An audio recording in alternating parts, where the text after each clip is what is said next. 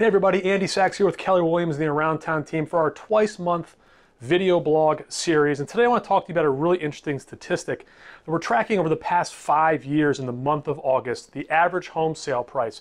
In 2015, the average sale price in our market area was about $305,000 for the month of August, not the yearly average, but just the month of August. We're going to break it down into really a microeconomic look here. From 15 to 16, it went up 5% to 323. From 16 to 17, it went up 2.5%.